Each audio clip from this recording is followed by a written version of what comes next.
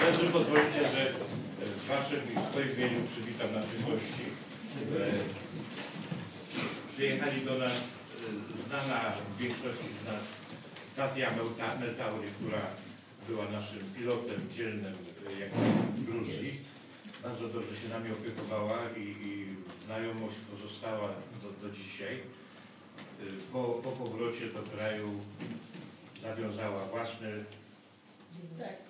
własne biuro turystyczne i organizuje przyjazdy między innymi większości Polaków do, do Gruzji, ale również inne nacje przy, przyjeżdżają. I witam Państwa Wójcickich. Pan Andrzej e, obecnie współpracuje z Tatią jako organizator turystyki u nas w kraju. Nie tylko do Gruzji wywozi ludzi, ale można powiedzieć po całym świecie. Także witam bardzo serdecznie. Małżonkę również. Witamy wszystkich. Także proszę bardzo, usiądźcie. Dobrze, ja mógłbym, tak jak, e, jak tutaj powiedział, e, przyprowadziłem Wam tu moją przewodniczkę, która wielokrotnie już mi prowadziła e, wycieczki po Gruzji. E, Też e, e, już tutaj w Gdańsku, e, no i tak e, e, zapraszam ją już, była chyba trzy miesiące temu, teraz znowu e, na te trzy tygodnie. No przyjeżdża, jest świetną przewodniczką. Ja mam różnych przewodników w Gruzji, bo wiadomo, że jak robię bardzo dużo tych wycieczek, no to potrzeba ogromnych e, tych przewodników. Ale Gruzja jest specyficznym krajem, gdzie z polskim językiem to jest tak ubogo, że naprawdę, no wy akurat trafiliście chyba na ten rodzynek najlepszy, który, jak, który istnieje w Gruzji. Dziewczyna, która studiowała, jak wiecie, w Poznaniu tyle lat, była dziennikarzem dwa lata w e, telewizji gruzińskiej, e, tancerka, no jest po prostu, no, e, a wiedzę, którą nam przekazuje, to jest fantastyczna, naprawdę. Ci przewodnicy, którzy, y, y, których ja miałem na początku, jeszcze tam 9 czy 8 lat temu, to Polacy, którzy, y, ale oni tylko się nauczyli, a ona żyje po prostu od urodzenia i wszystko wie dokładnie i tak dalej. E, Tu niektórzy mnie może znają, ja pracowałem 31 lat, 6 lat na Lubinie, ZG Lubin i resztę do emerytury w w ZG Rudna. E, Tu z Januszem tak samo, bo znaliśmy, zresztą z Igorką się spotykaliśmy bardzo często, jak jeszcze Igorka żyła. E, Też na różnych imprezach, i karczmach, nie karczmach i tak dalej. E, Też e, tego ja prowadziłem oddział G5, G7, tam nie byłem kierownikiem, nie byłem mechanicem grupowym na koniec 5 lat, także te 31 lat jako górnik pracowałem w dozorze. E, No i tak e, jak 22 lata temu wyjechałem, nie wiedziałem co ze sobą zrobić. No to jakieś stowarzyszenia zakładałem, uniwersytety trzeciego wieku, jakieś tam kluby osiedlowe, no ale w końcu to wszystko społecznie. No i tak e, w sumie turystyka mnie zmusiła do tego, żeby zarejestrować działalność. 11 lat już prowadzę tą turystykę i, i tak robię dla seniorów, w większości dla seniorów, bo to wszyscy, dla wszystkich, na cały świat wycieczki, bo jest Sri jakieś Islandii i tak dalej, Gruzji nie tylko, także tych wycieczek w tamtym roku ponad 100 było, w tym roku jest zamówień dużo. Ja nie jestem biurem podróży, co by tak każdy mówi, ja biuro podróży. Jestem organizatorem turystyki. My mamy same autorskie programy. Jedziemy, jeżeli y, chcemy coś zaproponować, jedziemy, y, sprawdzamy hotele, pilotów, restauracje, transport, bo wiadomo, że trzeba i transport. Także organizujemy, opisujemy wycieczkę, robimy program i wtedy ogłaszamy. Także mam pracowników, którzy nad tym tak samo pracują, no bo wiadomo, że, że sam bym tego nie, nie dokonał, a pracownicy wielojęzykowi są i, i znają to wszystko, także tych wycieczek no, w tym roku to chyba ponad 200 będziemy mieli. To tak dużo biura podróży zamawiają, bo to biura podróży, tak jak Rańbu zamawiają, czy, czy w TUI, czy tam w innych firmach, bo to korporacjach, tak samo u mnie zamawiają. Także wycieczek jest tak dużo. E, Tutaj ja bym już chciał już, ja jestem gabuła, chciałbym oddać głos Tati. Tati, żeby Tatia już tutaj też pa- parę słów powiedziała o sobie. E, Tatia, tak jak tutaj powiedziano, e, e, założyła ten magiczny Kaukaz dla młodych e, z trekkingiem, z różnych i tego, także już ma swoją działalność. E, też chyba e, tak już się dogadujemy, żeby, żeby ona mogła być moim takim jakby przedstawicielem w Gruzji i też e, całość organizować, no bo wiadomo, że Gru- Gruzja jest specyficznym krajem, gdzie trzeba transport, jak ktoś zachorował albo coś, czy do ambasady pojechać albo coś, ona jest po prostu, no muszę mieć kogoś tam na miejscu, tak, że Tatia będzie, będziemy już tak rozwijać, żeby jest młoda zresztą, prężna, to żeby zaczęła też tak, no jak dzisiaj jest pilotem, to Gruzji wielokrotnie prowadziła wycieczki, także też e, tak no, działamy. No, oddaję głos. Dziękuję za mikrofon. Dzień dobry, dzień dobry, witam wszystkich. Bardzo się cieszę, że jeszcze raz tutaj jestem i widzę Was. Większość z Was znam. Widzę też parę osób, którzy są nowych. Jeszcze się nie znamy, ale się poznamy. Tak, e, tak trochę spontanicznie wyszło nasz wyjazd. Ja tego nie planowałam. To przez właśnie Andrzeja tak wyszło, że on e, chciał pojechać też do Lublina, powiedział, że tutaj pracował i tak dalej. I ja też mówię, że przecież tam znam Furgów i możemy razem pojechać. I tak wyszło spontanicznie. A ja przyjechałam, a przez zaproszenie Andrzeja mi robiliśmy takie gruzińskie supy, jak e, raz kiedyś organizował tutaj. Um, Andrzej zapraszał ludzi, e, było chinkali, haczapury w gruzińskich restauracjach. A ja opowiadałam o Gruzji, pokazywałam tam zdjęcia, co mam, jak mam i tak. e, Myślę, że to się udało i ludziom bardzo, bardzo się spodobało. A tak to, to jest mój spontaniczny wjazd do Lublina. Bardzo się cieszę, ja tam a, siedziałam i słyszałam taką piosenkę. I tak myślę, to jest? No, Najpierw nie poznałam, a potem, to Mrożamie. Jestem e, pod wrażeniem, naprawdę. To jeszcze nie słyszałam tak e, z, z bliska, ale to, co siedziałam i s- słyszałam, to, jest naprawdę bardzo mnie ucieszyło. Poczułam tak jak w domu. A, tak, jeszcze raz chciałam podziękować za tą akcję, którą zrobiliście wspólnie. Raz, że pomogliście um, w przedszkolu a finansowo, a drugi raz, przesłaliście te zabawki dla przedszkola, tam gdzie nie, było zabawek, to teraz macie też pozdrowienia od nich, to wiecie, moja mama tam pracuje i oni są bardzo, bardzo wdzięczni, I, a ja z kolei jestem dumna, mam takich znajomych w Polsce i tak bardzo się cieszę, że tutaj jestem. Może Tacie poprosimy Cię, żebyś powiedziała coś o mojej firmie. E, tak, to dwa lata temu właśnie to niedawno. Założyłam takie biuro, to się nazywa Magiczny Kaukaz, bo ja uważam, że Gruzja jest magiczny, magiczna.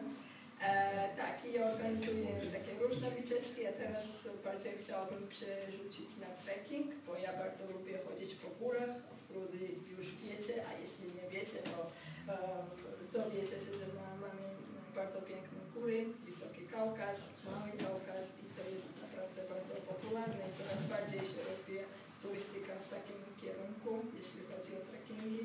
E, więc tak, ja zapraszam e, ludziom e, głównie na trekking, a tak poza tym też różne wycieczki oferuję. Um, tak, w sumie nie wiem, nie, nie przygotowałam się na słowa. Jeśli macie pytanie, to mogę odpowiedzieć, a tak naprawdę jestem bardzo szczęśliwa, że tu jestem. Dziękuję za zaproszenie, dziękuję Andrzejowi, że tutaj e, jestem, Piotrowi, Andrzejowi, wszystkim. Wyglądasz pięknie. O, dziękuję bardzo. Tak, Andrzejowi brawo. jest strój narodowy, bo wiecie, Gruzja jest podzielona, tak, to mamy różne regiony, tak jak w Polsce macie Wielkopolska, Małopolska, i tak dalej. Tak, w Gruzji też mamy takie regiony e, i Gruzja jest, Gruzja się różni od regionu do regionu. I ja zawsze mówię, że czasami kraje się nie różnią, sąsiednie kraje tak się nie różnią, różnią jak Gruzja, jak pojedziesz od jednego regionu do drugiego, bo w każdym regionie mamy swój akcent, mają ludzi, mają swoje stroje takie lokalne, narodowe, mają swoją kuchnię i jakieś tam trady- takie charakterystyczne tradycje, co na przykład w innym regionie nie ma. Ja akurat noszę, bo też Oczywiście jest, jestem przedstawicielem jednego, jednej regionu Gruzji, mm, to jest Tiuletia, a i właśnie to jest takie Tiulu, się nazywa, to jest takie stroje narodowe, nasze lokalne Tiulu i pochodzi właśnie z tego regionu, skąd ja pochodzę. To jest Nie, nie dziwię.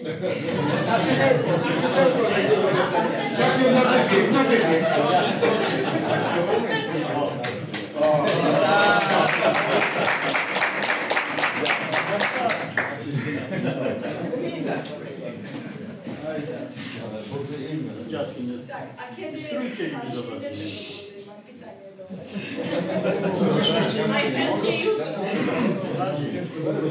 Tak, żeby ten region cały zwiedzić, tak jak my mamy po wszystkich regionach e, wycieczki. Wy byliście tam Tbilisi, jakieś e, tylko część Gruzji widzieliście, ale e, e, trzeba by drogę wojenną przejechać. Tak, w Batumi byliście, ale w Ardzie na przykład z Skalnym Miastem jest bardzo dużo takich rodzynków, których w świecie nie ma, tak? Także w Ardzie byliście? W Skalnym Mieście?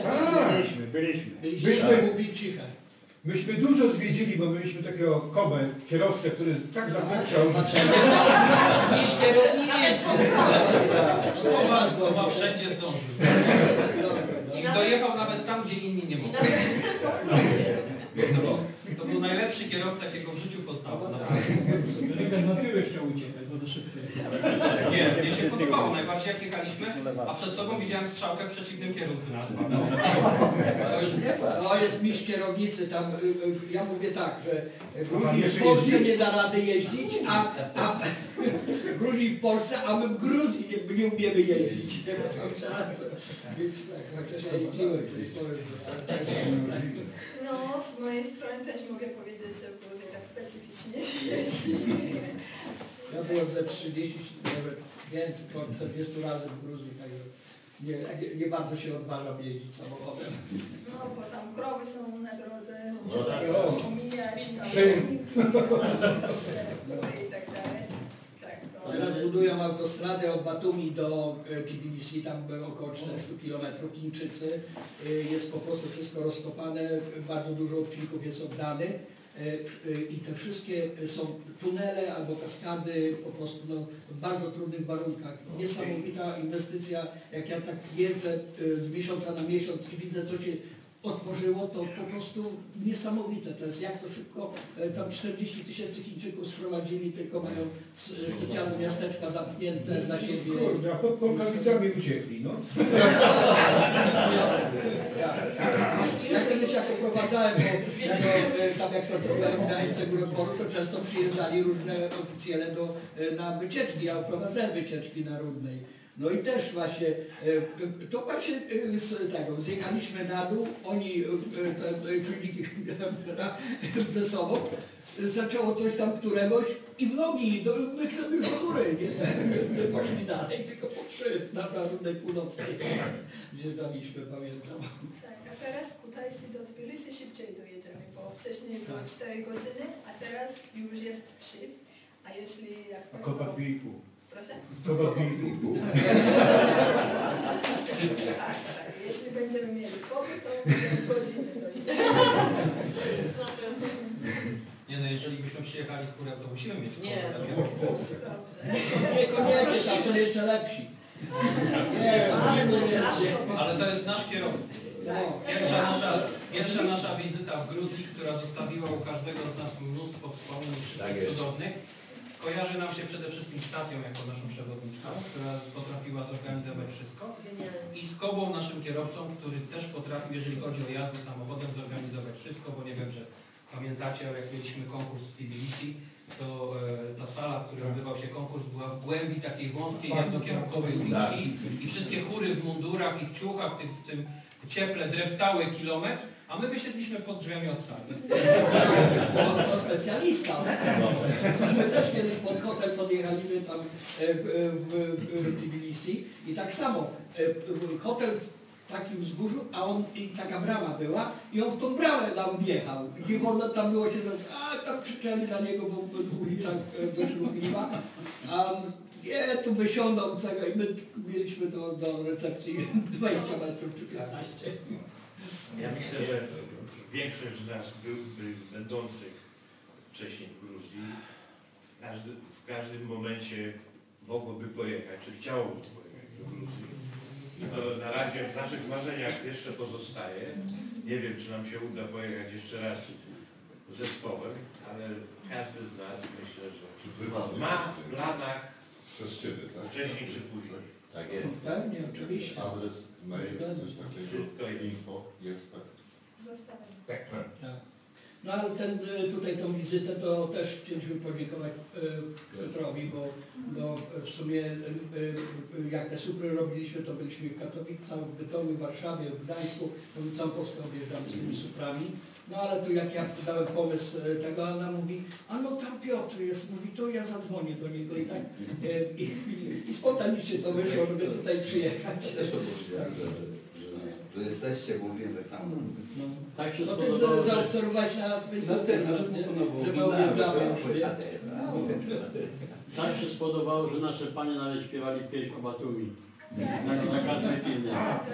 Tak, tak, tak, tak. Tak jest. Zresztą karczma piwna nasza pierwsza No. Gruzińska. Tatia przyleciała przecież. I też były linki te wszystkie. Jeszcze przywiozłeś wtedy chyba strój dla Andrzeja. Andrzej był za A, Tamara. Nie pamiętam. Pamiętasz? Że pamiętam. Takiej ilości wina nie pamiętam. Krzysiek, a tu nawet te śpiewniki, co były, to były wszystko Były tak. Wino było zamiast piwa. Tak, i to była jedyna karczma piwna, na której nie było piwa, wino. Wino gruzińskie. Tak jest. Specjalnie sprowadzone. Tak. Wina dużo, dużo tego. My, my, ja kupiłem makro chyba, ja wiem, ze 100 litrów, więcej jak 100 w tym, ten, na ten objazd, nie? Tego wina więcej jak 100 litrów. To tak, te grupy, bo to grupy różne są i tu 50, 70 osób, nie? Także jest dużo tych ludzi. A jak się dowiedzą, że supra gruzińska, no to, to zapisują mi się w Gdańsku, e, zapisało mi się 70, e, ja mówię to na drugi dzień, bo już się dopisywali do tego i trzy były, aż trzy dni po kolei.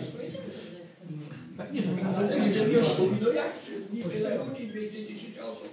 Myśmy tam też prawie co dzień supry mieli. nie? No.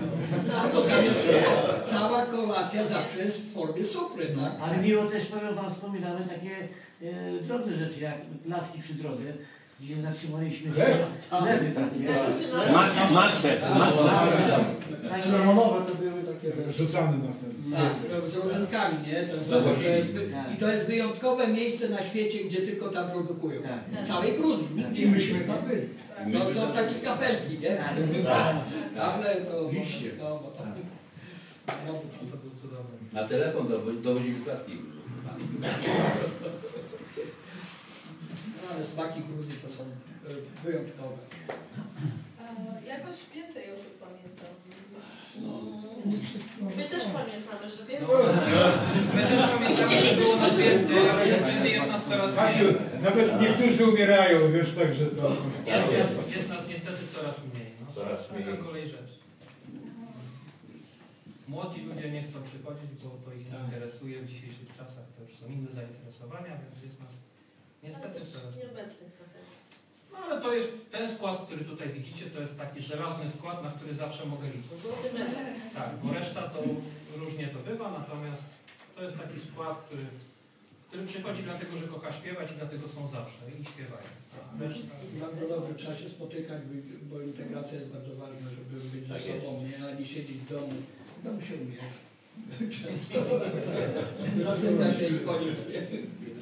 No jest to, jest to na pewno mobilizacja, bo trzeba dwa razy w tygodniu jeden z tego domu wyjść, trzeba tutaj przyjechać, trzeba się na to trzecie piętro wdrapać, bo nisko nie jest. Dla niektórych to już jest dobra gimnastyka jeszcze przed, do, przed rozpoczęciem śpiewania, nie? Tak, to Tak. takie ciężkie. Potem dwie godziny próby i jeszcze trzeba zejść do domu wrócić. Tak. Wszystkie dekoracje, które Państwo tutaj widzicie w pomieszczeniu obok, to z każdą rzeczą wiąże się jakieś wspomnienie, bo są skądś przywiezione, Tak. przez kogoś podarowane. Z wyjazdów. Jak byliśmy na jakimś wyjeździe, czy to na Litwie, Wilno, tak. Wilno, Tam Warszawa. Paryż. Tak, Filharmonia Warszawska. Tak.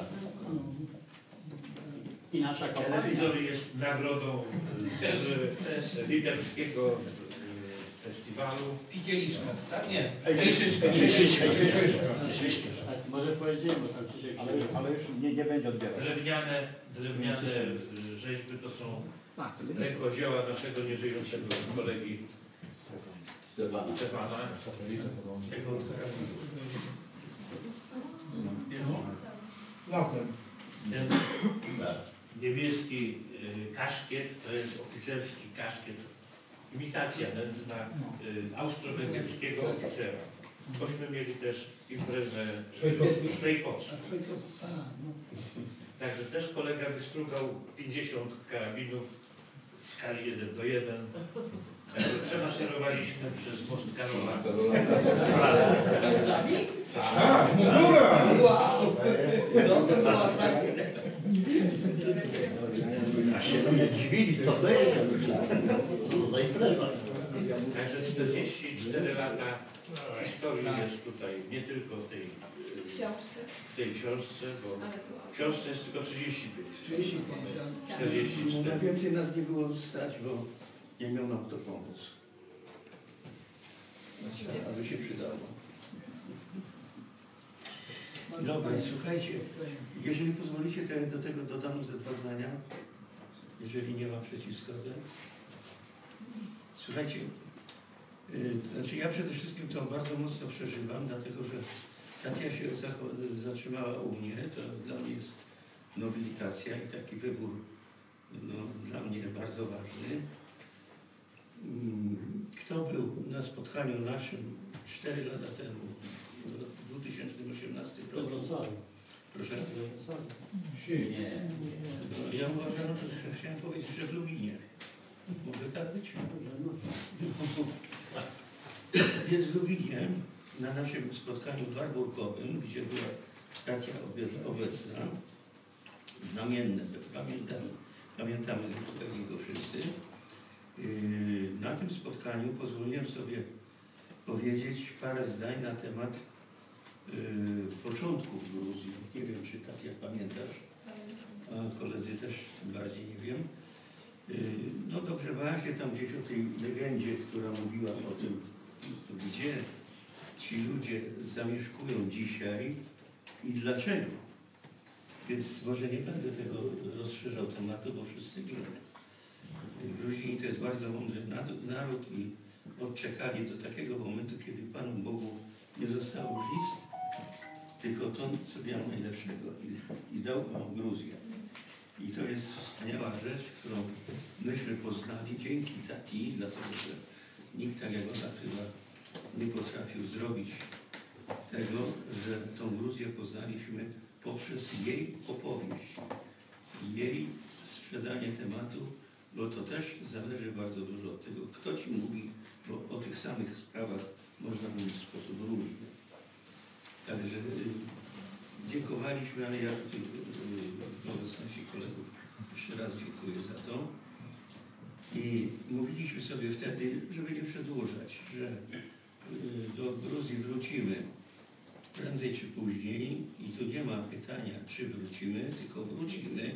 Kiedy? Y, Proszę, kiedy, pytanie kiedy? kiedy, kiedy zbierzemy pieniążki. Tak. A myślę, że już warto składać. Nie ma rzeczy niemożliwych.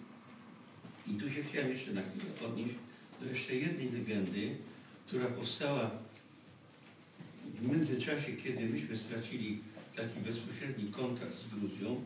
To znaczy myśmy tutaj byli, pracowali, a y, kraj gruziński to jest taki, gdzie y, obok y, tego, co się tam dzieje, są różne legendy, są różne opowieści, które ubogacają to wszystko. I w związku z tym chciałem się y, ustosunkować do jednej rzeczy, mianowicie do tego, że dotarłem do takich informacji, że w okolicach y, południowej Osetii, y, na we- we- wertepach, gdzieś tam bliżej nam na pewno nieznanych, szedł strudzony wędrowiec.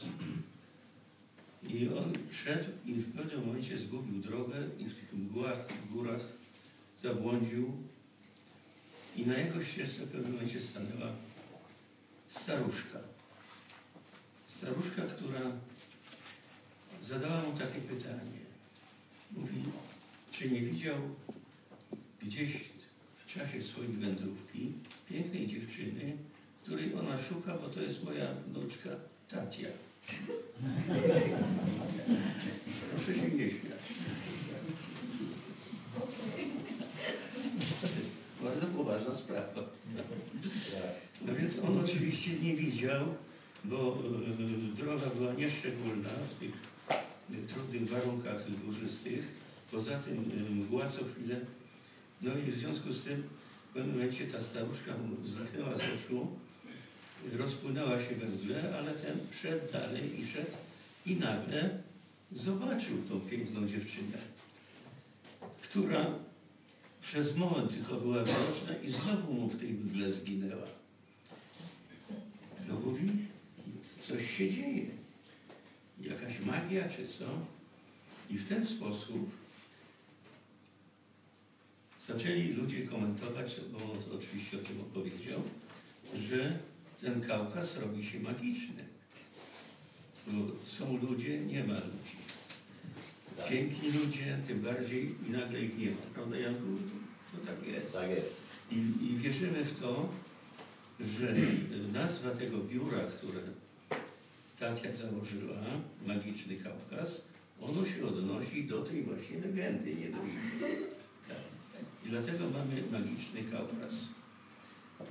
Yy, wracając za chwilę do tego, do, o czym mówił tutaj kolega Andrzej Prezes, że będziemy chcieli wrócić, na pewno, a to nie tylko dlatego, że chcemy tą Gruzję jeszcze raz zobaczyć. Na pewno tak, dlatego że mieliśmy zbyt mało czasu, żeby wszystko zwiedzić, bo były jeszcze inne obowiązki muzyczne, które też yy, wspominamy jako bardzo dobre, dlatego że tam chór zajął dobre miejsca, powiedziałbym bardzo dobre miejsca i to w kilku kategoriach, jeśli chodzi o konkurencje śpiewacze.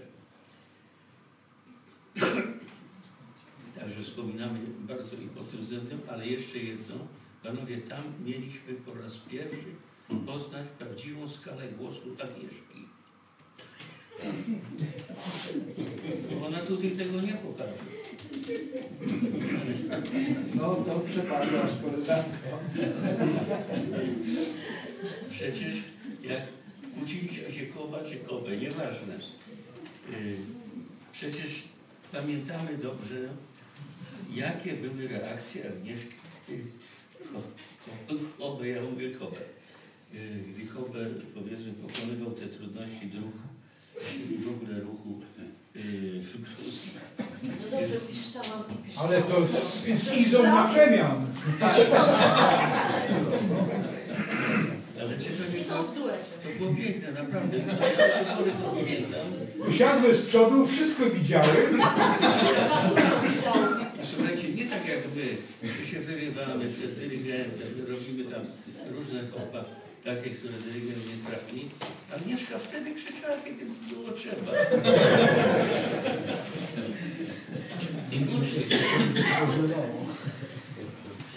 Także słuchajcie, naprawdę, to, co, o czym dzisiaj mówimy, wszyscy zgodnie. Pamiętacie pożegnanie na lotnisku Kutaisi? Kto był? Takiego pożegnania po żadnym wyjęciu chóru nie było. Nie było, bo y, to możemy sobie tu powiedzieć, a były jeszcze inne osoby spoza chóru i przeżyliśmy to bardzo y, emocjonalnie. Także było, było to y, wielkie przeżycie i po raz na, na tle kilkudziesięciu, Januszek, bo ty robisz czasem statystykę, na, na tle kilkudziesięciu wyjazdów chóru za granicę, bo tyle ich było, ja nie, nie, nie będę podawał cyfry, bo silę się na to nawet, było bardzo dużo, to takiego wyjazdu nie było. Nie było, żeby z takim y, no, zaangażowaniem emocjonalnym do tego chóru naszych. W związku z tym już tam wtedy powiedzieliśmy sobie, że do Gruzji trzeba wrócić. Jarek, ja Cię poproszę, żebyś przeczytał to, co ja napisałem tuż po y, powrocie z Gruzji, jak tam byliśmy. I to jest znane tutaj niektórym, ale Czy to nie jest to, o czym myśleliśmy wtedy i o czym myślimy teraz? Nasza Gruzja. Popatrz na grzbiet Kaukazu. Tam śniegi białe leżą, a w dolinach Kakheti winnice po horyzont. Pijemy złote wino, które ta ziemia daje. Skradłaś nam serca Gruzjo, nie skradły inne kraje. Tu wieki do nas mówią w murach świątyń zaklęte.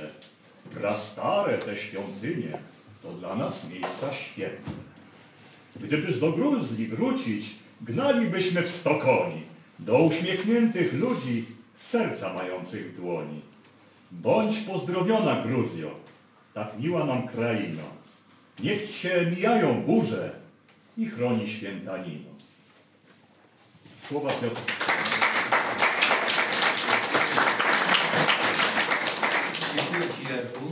Nikt tego by lepiej nie zrobił. Z ani jednego słowa się nie wycofuję. Podtrzymuję jedynie to, o czym wszyscy zgodnie mówiliśmy 4 lata temu po powrocie właśnie z Gruzji. Zapomniałem jeszcze dodać o rzeczy najważniejszej, ale to temat jest żarła. Dlatego, że powstał magiczny Kaukaz, ale tymże Kaukazem zawiaduje magiczna księżniczka, księżniczka kaukaska. I to określenie, Andrzej, już w Gruzji w niektórych kołach krąży. Ja bym prosił, żeby to rozpropagować bardziej yy, mamy, mamy swoją księżniczkę, chociaż jak ktoś historię tam gdzieś czytał, to wiemy, że była kiedyś księżniczka kaukaska i to w Polsce żyła, e, tak, w Polsce. Nawet jak, jakiś utwór muzyczny, czy nawet czy opera nie została stworzona y, na ten temat. Ale y, Tatia to jest nasza kaukaska księżniczka. I wydaje mi się, że tutaj jest, no, naszego określenia chyba nie ma. Ja bym na tym skończył. Y, miło nam, że Andrzej był z Wami i, i Tatia, bo to jest też dla nas wyjątkowa próba, która y, pewnie będziemy pamiętać. Dziękuję Wam bardzo. Prosiłbym Pana Prezydenta, żeby... E,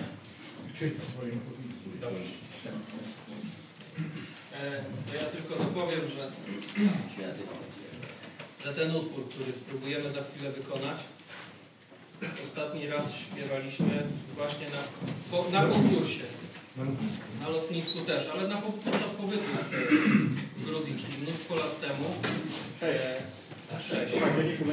Tak jest. Do, e, dowiedziawszy się o tym, że macie się tutaj dzisiaj u nas zjawić, spróbowaliśmy go e, na ostatniej próbie e, odświeżyć.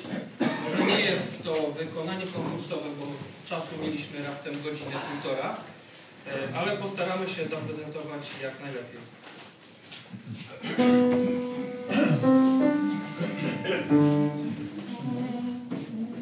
No, wstajemy. Nie, nie, proszę siedzieć. Proszę siedzieć. Możemy? Maria,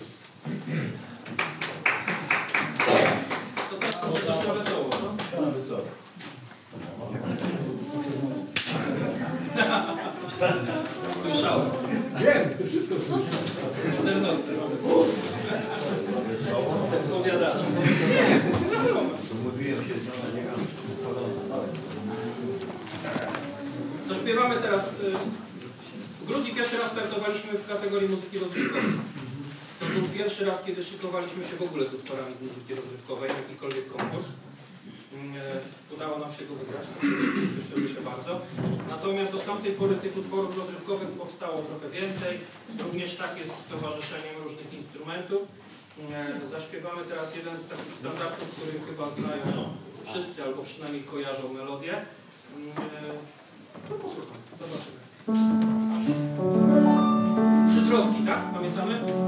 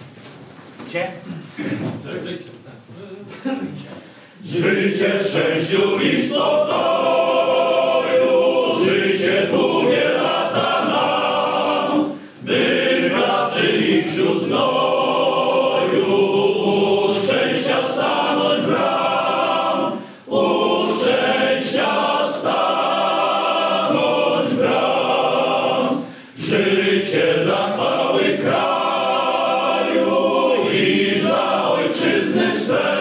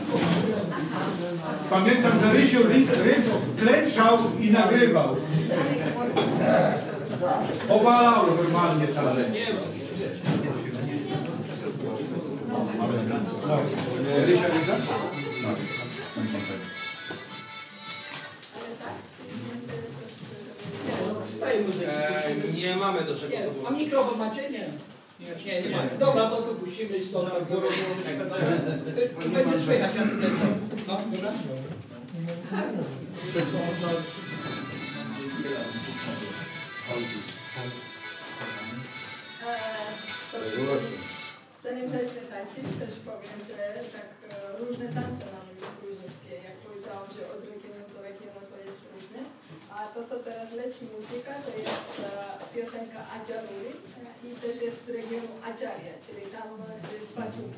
My byliśmy w Batumi, a to jest piosenka Adjaruli. Adjaruli to jest region, jest, e, stolica jest Batumi, a jest taka piosenka Adjaruli z, z Morza Czarnego. Szkoda, że tak nie będzie słychać to trochę. Tak.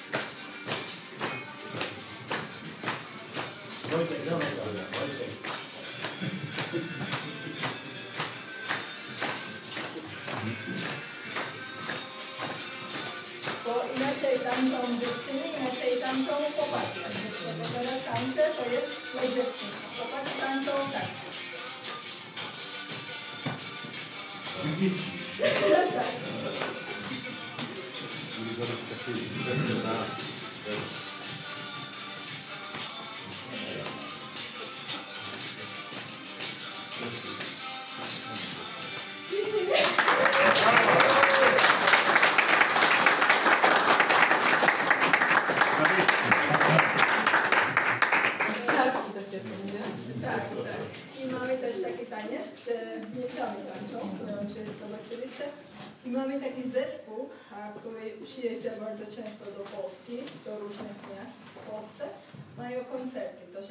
Nazywają Suchy Szwilek. I oni mają... Na, na, tak? Dwa lata temu? Tak, oni co roku przyjeżdżają, mają objazd po Polsce, mają w różnych miastach, we Wrocławiu, w Lubinie też był. No mówię, dwa lata temu. Tak, to, to był, to jednak podziwia to, bo naprawdę to ekspresyjne tańce tam są. Tak, bo u nas um, ka, ten, każdy taniec opowiada historię. Że na przykład mamy pierwszy taniec, taki ślubny, tam jest tak, że e, chłopak tańczy dziewczyna. To jest tak e, też e, z, z dawnych czasów, nie? Różnie, że mężczyzna nie wolno dotykać się dziewczyny. To jest tak przed ślubem nie wolno.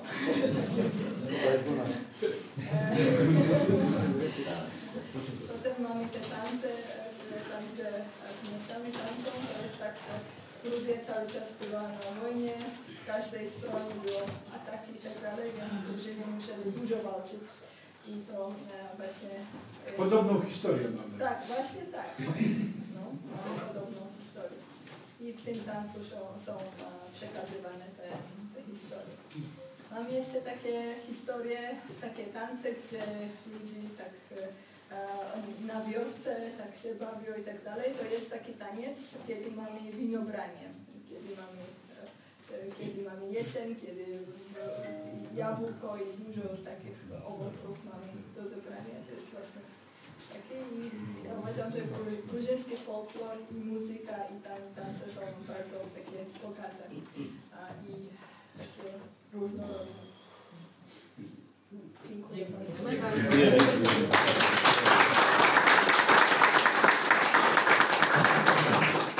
Bardzo dziękujemy Państwu za wizytę.